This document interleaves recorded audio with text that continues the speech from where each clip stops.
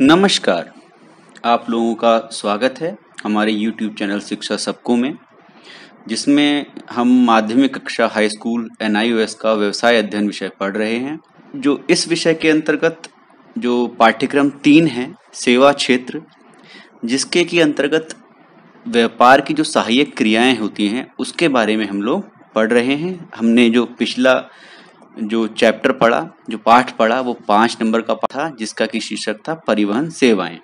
आज हम उससे आगे बढ़ रहे हैं। आज हम पाठ छह शुरू करेंगे, जिसका कि शीर्षक है भंडारण सेवाएँ। तो आइए जानते हैं इसके बारे में। उससे पहले फिर आपसे एक बार अनुरोध है कि ये जो वीडियो है, ये आप अपने उन दोस्तों, उन साथियों के साथ, उन परिचितों के साथ ज़रूर शेयर करें, जो कि व्यवसाय अध्ययन विषय पढ़ रहे हों एन का। तो भंडारण का अर्थ भंडारण का अर्थ क्या होता है? तो हम लोग अपने जो रोज़मर्रा का जीवन होता है, उसमें बहुत से प्रकार की वस्तुओं का उपयोग करते हैं। जैसे अभी आप स्क्रीन पर देख पा रहे हैं, चावल हैं। इसको हम लोग खाने में यूज़ करते हैं। ऐसे ही गेहूँ है, जिसकी हम रोटी खाते हैं। तो ये जो कुछ लोग चावल खाते हैं, कुछ लोग गेहूँ की रोटी खाते हैं अलग अलग प्रकार की सबकी आवश्यकताएँ होती हैं और उसके प्रकार, उसी प्रकार से वो उन आवश्यकताओं की तुष्टि करते हैं। अब हम लोग जानते हैं कि जो अनाज होते हैं, जो हम खाते हैं, ये पूरे साल तो पैदा होते नहीं हैं। लेकिन हमें इनकी रोज ज़रूरत होती है, इसकी आवश्यकता हमको बिल्कुल, क्योंकि ये मूलभूत आवश्यकताओं में आते हैं तो इनकी हमें ज़रूरत रोज ही पड़ती है। तो फिर किस तरीके से जो अन्नदाता है या किसान है, वो हमको इन अनाजों की निरंतर आपूर्ति करते रहता है? ये कैसे कर पाते हैं जो जो किसान होते हैं, वो लोग इसको, इसकी जो आपूर्ति है, वो पूरे साल भर बनाए रखते हैं। इसके पीछे क्या क्या तकनीकी काम करते आप लोग सोचते ही होंगे कि वो किसी ना किसी जगह पे उसको स्टोर करते होंगे या उसका संग्रह करते होंगे। और जब हमें आवश्यकता पड़ती है तो हमें आपूर्ति करते हैं। आप बिल्कुल सही सोच रहे हैं। जो ये चावल हैं और जो गेहूँ हैं, इनका उत्पादन एक विशेष मौसम में और एक विशेष क्षेत्र में होता है। सारी जगह पर ये नहीं उत्पन्न होते हैं। तो इसलिए इन अनाजों का उचित तरीके से संग्रहण आवश्यक होता है। ये आप देख पा रहे हैं कि एक जगह पे ये सारे अनाज संग्रहित हैं। तो ये जो जगह है जहाँ पर ये सारे संग्रहित हैं, बोरियों में रखे गए हैं, ये आप देख सकते हैं कि टीन की एक छत पड़ी हुई है, इसके नीचे ये सब रखे गए हैं। इनके वेंटिलेशन का भी इंतज़ाम है, हवा के लिए और रोशनी के लिए इसमें पर्याप्त व्यवस्था की गई है। तो इस जगह को बोलते हैं भंडार गृह और जो बड़ी मात्रा में, बहुत बड़ी मात्रा में आप देख रहे हैं कई बोरियों में चावल या गेहूँ जो भी होंगे, वो रखे हुए हैं। तो इस जो क्रिया है, इस प्रकार से संग्रहित रखने की बहुत बड़ी मात्रा में उसको भंडारण कहते हैं। तो भंडारण का अर्थ क्या होता है? अब जानते हैं, कच्चे माल तथा तैयार माल, दोनों को संग्रहण की आवश्यकता पड़ती है, बिल्कुल। कच्चे माल को भी पड़ती है और तैयार माल को भी पड़ती है। दोनों ही दोनों ही जो चीज़ें होती हैं या दोनों ही वस्तुएँ या सेवाएँ होती हैं जो तैयार हों या फिर जो उनके लिए कच्चा माल हो, उन दोनों के लिए ही संग्रहण की आवश्यकता उनको पड़ती है। वस्तु के उत्पादन से लेकर खपत तक उसके समुचित संग्रहण की आवश्यकता होती है। मतलब जब वस्तु बनाई जा रही है और जब तक कि उसको लोग कंज्यूम नहीं कर लेते, उसकी खपत नहीं हो जाती, तब तक उसके जो संग्रहण की आवश्यकता होती है। आप लोग अपने घरों में भी छोटी छोटी मात्रा में बहुत सारी वस्तुओं का संग्रहण करते हैं। लेकिन आप छोटी मात्रा में करते हैं, जो उत्पादक होते हैं, वो बहुत बड़ी मात्रा में इन चीज़ों का स्टोरेज या इन चीज़ों का संग्रहण करते हैं। तो जो बड़ी मात्रा में जो संग्रहण होता है, वो भंडारण कहलाता है। इसके पश्चात है, जब संग्रहण बड़ी मात्रा में और सही विधि से, बड़ी मात्रा में भी हो और सही विधि से भी हो। जैसे मैंने पिछले चित्र में दिखाया था कि वहाँ वेंटिलेशन का या हवा का इंतज़ाम था, धूप का इंतज़ाम या लाइट का इंतज़ाम था, प्रकाश का इंतज़ाम था तो इस प्रकार से एक सही विधि से वस्तुओं का रख रखाव किया जाता है तो इस प्रक्रिया को भंडारण कहते हैं। तो जो पूरी प्रोसेस होती है, इसको भंडारण के नाम से जाना जाता है। भंडारण जहाँ करते हैं, जैसे मैंने आपको पिछले उसमें बताया था कि उसको भंडार गृह बोलते हैं और जो भंडार गृह की देखभाल करने के लिए आदमी रखा जाता है, उसको भंडार गृह देखभाल अधिकारी, भंडार गृह देखभाल प्रभारी कहते हैं। ये उसका उत्तरदायित्व होता है कि वो जो भंडार में रखी गई जो वस्तु है या जो माल है, उसकी सुरक्षा निश्चित करे। उस किसी प्रकार से उसमें किसी तरीके की खराबी नहीं आनी चाहिए, उसकी क्षति नहीं होनी चाहिए। ये आप एक भंडार का दृश्य देख पा रहे हैं। ये घास के गोले लपेट के रखे गए हैं। अभी हमने देखा भंडारण के बारे में थोड़ा सा जाना। अब हम एक वीडियो के माध्यम से समझते हैं कि भंडारण, जो आधुनिक जो भंडारण इकाइयाँ हैं, वो किस प्रकार से भंडारण करती हैं। आप ये देख पा रहे हैं कि जो कितनी ऊँची ऊँची रैक्स में इनको वस्तुओं को रखा गया है, बहुत सारे डिब्बों को रखा गया है। तो ये आप समझ रहे होंगे कि ये एक एक ऐसी जगह पर है जो कि बहुत आधुनिक तकनीकी का उपयोग करके इसको रखा गया है। सबके बीच में एक समुचित दूरी बना के रखी गई है और जगह का यूज़ करने के लिए ऐसे रैक्स में रखा गया है इन वस्तुओं को। एक के ऊपर एक रखते तो उनके टूट फूट का भी डर था, लेकिन इसको पूरे समुचित व्यवस्था यानी कि सही विधि से इसको रखा गया है। तो वस्तुओं का बड़ी मात्रा में और समुचित तरीके से संग्रहण क्या कहलाता है? भंडारण कहलाता है और इनको और इसके माध्यम से हम आवश्यकता अनुसार उन्हें उपलब्ध करवा सकते हैं, जो वस्तुएँ होती हैं। वस्तुओं का उनके उत्पादन अथवा खरीद के समय से लेकर उनकी बिक्री अथवा वास्तविक उपयोग के समय तक बड़ी मात्रा में रखना अथवा परीक्षण करना क्या कहलाता है? भंडारण कहलाता है। बड़ी मात्रा में रखते हैं और साथ साथ उसका परिरक्षण भी करते हैं। तो भंडारण की आवश्यकता क्या होती है? अब ये, अब हम सोच सकते हैं कि भंडारण आवश्यक क्यों है? तो कुछ चीज़ें तो आप समझ ही गए होंगे कि क्यों आवश्यक है, लेकिन जो आपकी पुस्तक में दिया गया है उन बिंदुओं को जान लेते हैं। सबसे पहला जो कारण है, वो है मौसमी उत्पादन। अभी हमने बात की कि जो गेहूँ और चावल हैं, वो हर मौसम में तो पैदा होते नहीं हैं। तो इस प्रकार से अनेक ऐसे उत्पाद हैं जो कि मौसमी उत्पाद होते हैं। जिनके की उत्पादन कुछ विशेष मौसमों में होता है, खासतौर से कृषि उत्पादों का जो उत्पादन है, वो साल के विशेष मौसमों में ही होता है, लेकिन उनकी खपत पूरे साल होती है, इसलिए उत्पादों के समुचित भंडारण की आवश्यकता होती है, उनके भंडारण की ज़रूरत पड़ती है, ताकि वो आवश्यकता अनुसार काम आ पाए और उनकी आपूर्ति की जा सके, जो उपभोक्ता हैं उनको। ये एक, देख पा रहे हैं आप एक दृश्य, जो कि एक कोल्ड स्टोरेज का, या जो कि जिसके अंदर की ठंडा किया जाता है। ऐसा एक स्टोरेज है, जहाँ पे कि ठंडा करने के लिए एसी वगैरह लगे हुए हैं और इसमें सब्जियों आदि, जो सब्ज़ी या फल हैं, जो कृषि उत्पाद होते हैं, उनको रखा जाता है ताकि ये ठंडा इसलिए किया जाता है ताकि वो लोग उन, वो खराब ना हो, सड़े ना। मौसमी मांग। अब मौसमी मांग क्या होती है कि जैसे कुछ कुछ चीज़ों का तो उत्पादन मौसम के हिसाब से होता है, लेकिन कुछ चीज़ों की ज़रूरत हमको मौसम के हिसाब से पड़ती है, या उनकी मांग मौसम के हिसाब से होती है। जैसे सर्दियों में आपको ऊनी वस्त्र की आवश्यकता पड़ती है, बरसात में छातों की आवश्यकता होती है। अब होता क्या है कि इन वस्तुओं का उत्पादन होता है, पूरे साल होता है तो जब पूरे साल उत्पादन हो रहा है मांग पूरे साल होती नहीं है तो फिर हम क्या करेंगे? जो ज़्यादा माल पैदा हो रहा है जो मा, जो माल उत्पन्न हो रहा है मांग से अधिक जो माल है उसको हम स्टोर कर देंगे और जब उसकी मांग आएगी तब उसको निकाल के बेच देंगे तब उसको उपलब्ध करा देंगे। ऐसे ही अगला है बड़े पैमाने पर उत्पादन। जो बड़ी बड़ी औद्योगिक इकाइयाँ होती हैं वो छोटी मात्रा में उत्पादन करती नहीं है, वो बड़ी पैमाने पर उत्पादन करती हैं, जिससे कि उनकी लागत कम से कम आई तो जब बड़े पैमाने पर उत्पादन होता है तो आप आगे पढ़ेंगे अर्थशास्त्र में कि बड़े पैमाने पर उत्पादन की सहायता से आप किसी भी चीज़ की लागत को कम कर सकते हैं। जब उत्पादन बड़े पैमाने पर होता है तो उसकी जो वस्तु उत्पन्न होती है, उसकी लागत कम पड़ती है, उसकी कॉस्ट कम आती है। तो अब जब बड़े पैमाने पर आपने उत्पादन तो कर दिया, अब अब आप उसको क्या करेंगे? अब आप उसको भंडार कर देंगे, उसको स्टोरेज में डाल देंगे ताकि जब इनकी आवश्यकता पड़े तो इनकी बिक्री की जा सके। तो ये भी एक स्टोरेज की आवश्यकता हुई, इसके लिए भी भंडार आवश्यक है। फिर तुरंत आपूर्ति के लिए तो होता क्या है कि जो औद्योगिक और जो कृषि उत्पादन है वो दोनों प्रकार के उत्पादों का उत्पादन एक विशेष स्थान पर होता है। किसी एक, एक विशेष जगह पर होती है जैसे जो कृषि है वो गाँव में होती है। तो गाँव में तो ज़रूरी नहीं कि सारा का सारा जो खेती में आप कर रहे हैं वो सारा का सारा गाँव में बिक जाए उसकी खपत वहीं हो जाए।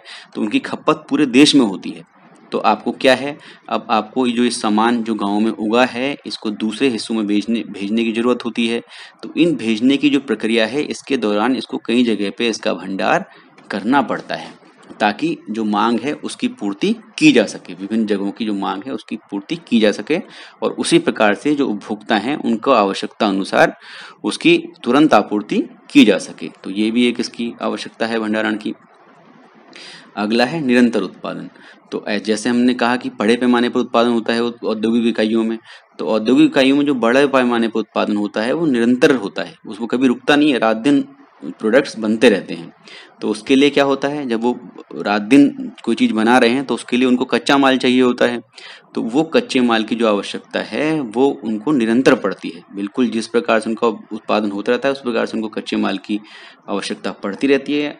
इसलिए जो, क्या करते हैं वो लोग? कच्चे माल का भंडारण करते हैं। ज़रूरी नहीं कि जो कच्चा माल है, वो जिस समय बनाए, उसी समय उनको उपलब्ध हो जाए।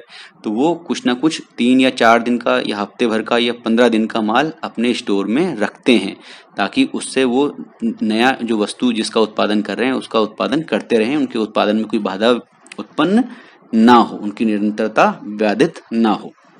इसके पश्चात है मूल्य में स्थायित्व। तो होता क्या है?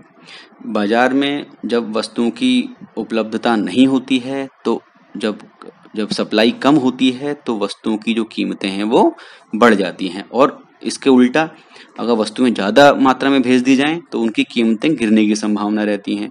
तो जो स्टोरेज का काम करता है, स्टोरेज एक तरह से बफर का काम करता है। एक बीच में एक एक एक लेयर प्रोवाइड कराता है जो कि क्या काम करती है, जो प्राइस है, ये जो मूल्य है, उसको स्थायित्व देती है। मतलब जितना ज़्यादा माल, ज़्यादा, अगर माल ज़्यादा संख्या में आ गया है तो ज़्यादा नंबर में है तो उसको आप स्टोर कर लेंगे और कुछ ही माल बाज़ार में देंगे ताकि उसके जो मूल्य है, उस पर कोई दुष्प्रभाव ना पड़े। और जब बाज़ार में मान लीजिए सामान की कमी हो गई तो आप भंडार से जो माल है उसकी सप्लाई कर देंगे ताकि फिर क्या करेंगे आप, मूल्य को बढ़ने नहीं देंगे। पहले समय में मूल्य को कम नहीं होने देंगे, दूसरे में मूल्य को बढ़ने नहीं देंगे। तो इस प्रकार से मूल्य में स्थायित्व प्राप्त किया जा सकता है भंडारण के माध्यम से। अब है जो अगला टॉपिक वह है भंडार ग्रहों के प्रकार। तो भंडार ग्रह बेसिकली होते हैं पाँच प्रकार के। कौन कौन से? निजी भंडार गृह सार्वजनिक भंडार गृह सरकारी भंडार गृह बंधक भंडार गृह और सहकारी भंडार गृह तो एक एक करके आइए इनके बारे में जानेंगे। तो जो निजी भंडार गृह होते हैं, वो किसी निजी जो उत्पादक है या निर्माता है, जो बना रहा है वस्तुएँ उसके द्वारा अपने उत्पादों के संरक्षण हेतु बनाया जाता है। मतलब वो निजी उपयोग के लिए होता है, उनके निजी उपयोग के लिए होता है। इसलिए उसको निजी भंडार गृह कहते हैं। जैसे एक ये चित्र आप देख पा रहे हैं, ये वाइन, एक वाइन फैक्ट्री है, जिसमें कि वाइन को इन बैरल्स में भर के रखा हुआ है। ये बैरल्स कहलाते हैं। इसके अंदर जो एल्कोहल है या वाइन है, उसको रखा जाता है। और इस प्रकार से इसका परिरक्षण भी किया जाता है। मतलब उसको, इसको मतलब एजिंग बोलते हैं उसे। इसको जितना इसकी उम्र बढ़ती जाएगी, उस उस हिसाब से इसकी जो मूल्य है, जो उसकी वैल्यू है, वो बढ़ती जाएगी। तो ये एक प्राइवेट स्टोरेज है, एक निजी भंडार गृह है। प्राइवेट स्टोर है। तो अपने जैसे जो किसान हैं, और ये इनकी स्थिति कहाँ होती है, ये होते कहाँ हैं निजी भंडार गृह? ये निजी भंडार गृह अगर आप खुद समझ सकते हैं, अगर निजी भंडार गृह है तो वो ज़्यादा से ज़्यादा पास होगा, जो उसका उत्पादक होगा, उसके समीप होगा। तो जैसे जो किसान है, अगर वो अपना कोई भंडार गृह बनाएगा तो वो कहाँ बनाएगा? अपने खेतों के समीप बनाएगा, ताकि वो जो तैयार, जो खेती से जो तैयार उपज है, गेहूँ, चावल जो भी है, उसको रख सके। इसी प्रकार से जो कारखाने वाला है, जो जो कुछ का उत्पादन कर रहा है, कोई वस्तु बना रहा है, वो अपने कारखाने के समीप उसको बनाएगा, ताकि वो वहाँ पर उन चीज़ों को रख पाए। अगला है सार्वजनिक भंडार गृह। तो सार्वजनिक भंडार गृह में क्या होता है? आम जनता के उपयोग के लिए अथवा सार्वजनिक भंडारण के लिए ये जगह प्रोवाइड कराता है। जो सार्वजनिक भंडार गृह होता है, उसमें कोई भी आम जनता मतलब मैं या आप भी, हम लोग जाकर अपना सामान रख सकते हैं। ठीक है?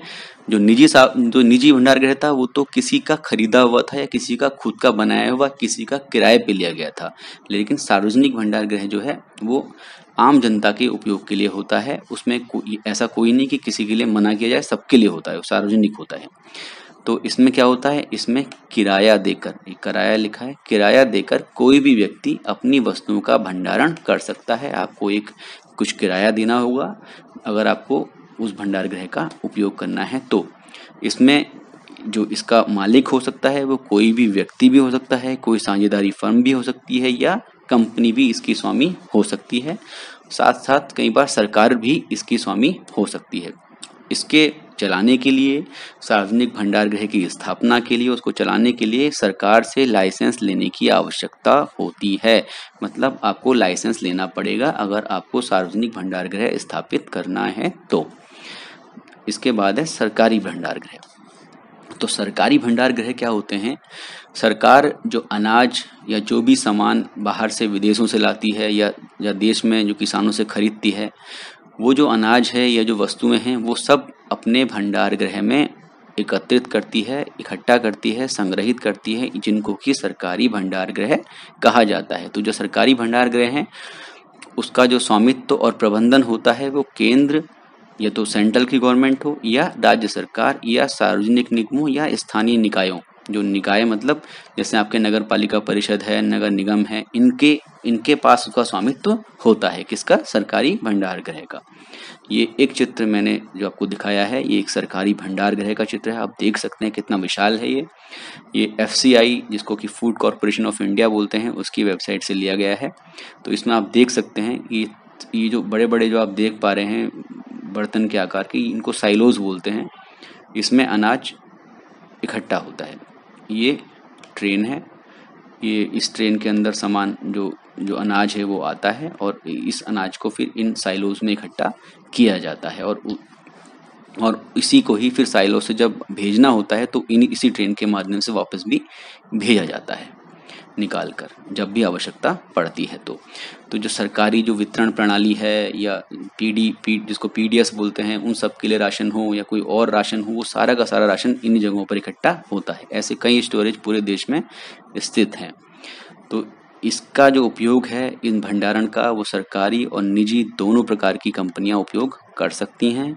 सरकारी जो सिस्टम है, उसमें तो यूज़ होता ही है। अगर कोई प्राइवेट कंपनी चाहे या प्राइवेटली आप या मैं चाहें तो हम भी अपना सामान सरकारी भंडार गृह में जमा करा सकते हैं। उसके लिए निश्चित तौर पर एक किराया आप लोगों से वसूला जाएगा। इसके जो कुछ उदाहरण हैं, वो हैं केंद्रीय भंडारण निगम, राज्य भंडारण निगम और भारतीय खाद्य निगम। तो मैंने एफसीआई जो बताया था आपको, उसका जो फुल फॉर्म होता है, वो भारतीय खाद्य निगम होता है फ़ूड कॉरपोरेशन ऑफ़ इंडिया इसके पश्चात है बंधा, बंधक भंडार गृह अब बंधक का मतलब है कि जो इसके अंदर सामान होता है, जो रखा जाता है सामान, वो बंधक होता है। मतलब किस तरीके से वो गिरवी होता है या उसको मतलब ऐसे छोड़ नहीं सकते, वो उसको पकड़ा गया होता है। तो ये कहाँ यूज़ होते हैं? इसका जो भंडार गृह होते हैं, ये इनका स्वामित्व तथा प्रबंधन सरकार भी कर सकती है या निजी एजेंसियों के पास भी होता है। लेकिन इसके लिए भी वही है कि अगर निजी एजेंसी को ये चलाना है तो उसके लिए सरकार से लाइसेंस लेना पड़ेगा। उसके लिए सरकार से लाइसेंस आवश्यक है। आयतित वस्तुओं का भंडारण इसमें किया जाता है। कैसी वस्तुओं का आयत भंडारण किया जाता है? आयातित। आयातित वस्तुएँ वो होती हैं जो किसी दूसरे देश से हमारे देश में आती हैं। तो ऐसी वस्तुएँ जो किसी और देश से हमारे देश में आई हैं और जिन पर, क्योंकि जब कोई वस्तु आप बाहर से मंगाते हैं तो उस पर आपको एक टैक्स देना होता है, जिसको कि इम्पोर्ट ड्यूटी बोलते हैं या इम्पोर्ट टैक्स बोलते हैं। जिसको कि आयात कर कहते हैं। अगर आपने वो टैक्स नहीं दिया है और आप माल लेकर आ गए हैं तो सरकार आपका माल पकड़ लेगी या निजी एजेंसियाँ जिसको भी सरकार ने वो काम दे रखा है, वो आपका माल पकड़ लेगी और उसको अपने इस स्टोरेज में इकट्ठा कर देगी, रख देगी। और इसको तब तक बंधक रखेगी जब तक कि आप उस पर आयात कर चुका नहीं देते हैं। इधर आपने आयात कर चुकाया और उधर इन्होंने बंधक भंडार गृह से आपका माल आपको दे दिया। तो ये था एक तरी, एक एक प्रकार था भंडार गृह का। अब है सहकारी भंडार गृह तो हमने जो पिछला, जो देखा है सहकारी समितियों के बारे में हमने पढ़ा था तो ये जो सहकारी भंडार गृह होते हैं, ये सहकारी समितियों द्वारा चलाए जाते हैं। और सहकारी समितियों में क्या होता है, कई सारे सदस्य होते हैं जो समान हित में काम करते हैं। तो जो सहकारी भंडार गृह होता है, वो अपने जो सदस्य हैं सहकारी समिति के, उनको बहुत ही रीजनेबल रेट्स में, उनको बहुत ही सस्ते मूल्य में या अच्छे मूल्य में एक सुविधा उपलब्ध कराता है भंडार गृह की, ताकि उनकी जो उत्पाद है, या जो उनकी वस्तुएँ हैं, उनका भंडार हो सके, उनका संग्रहण किया जा सके। तो इसका स्वामी तथा प्रबंध तथा नियंत्रण किसके हाथ में होता है? सहकारी समितियों के हाथ में होता है, मैंने आपको बताया। एक आप ये उदाहरण देख सकते हैं। ये एक सहकारी समिति ने छोटा सा एक अपना कोल्ड स्टोरेज बना रखा है, जिसमें कि ये आलू और आप देख पा रहे हैं कुछ फल वगैरह दिख रहे हैं आपको। तो ये एक सहकारी भंडार गृह का आप उसे उदाहरण मान सकते हैं। तो समिति, इसमें क्या होता है? समिति के सदस्यों को मित व्ययी दर पर मतलब बहुत कम दर पर भंडारण की सुविधा ये प्रदान कराते हैं। कौन से? सहकारी भंडार गृह। तो इस प्रकार से आज का जो जो पाठ है हमने, आज के पार्ट का जो जो छठा पार्ट है, उसका पहला भाग हमने पढ़ लिया। जो दूसरा भाग है, हम उसको दूसरे वीडियो में पढ़ेंगे। तो धन्यवाद। फिर आपसे एक बार वही अनुरोध है कि आप इस वीडियो को अपने ऐसे दोस्तों के साथ शेयर करें, जो कि व्यवसाय अध्ययन विषय पढ़ रहे हों एनआईयूएस का। और वैसे भी अगर वो पढ़ रहे हों तो भी आप उनको उनके साथ शेयर कर सकते हैं। अगर व्यवसाय अध्ययन में वो इंटरेस्टेड हैं या नई चीज़ें सीखना चाहते हैं, उनके साथ शेयर करें। और जो भी आपको इसके इसमें कोई परेशानी आई हो, कोई दिक्कत आई हो इस चैप्टर में, इस पार्ट में तो आप मेरे साथ कमेंट्स में आप लिखकर बता सकते हैं। धन्यवाद।